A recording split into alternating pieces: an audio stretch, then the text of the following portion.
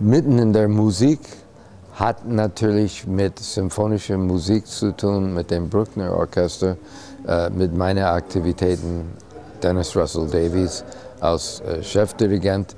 Äh, Musikvermittlung ist eine Sache, die uns immer sehr intensiv beschäftigt hat, uns begeistert hat. Und wir freuen uns über ein Publikum, die sich intensiver mit gewissen Werken des klassischen Repertoires auseinandersetzen möchten. Diese Serie geht um Performance, geht um die äh, Situation eines Komponisten, als er ein Werk äh, konzipiert und niederschreibt, darüber nachdenkt, was vielleicht in seiner unmittelbaren äh, Nähe passiert ist. Äh, aber vor allem, es geht um die Musik selber und es wird Beispiele ges gespielt, es werden ähm, Instrumente vorgestellt, es werden Instrumentierungskunst der Komponisten vorgeführt.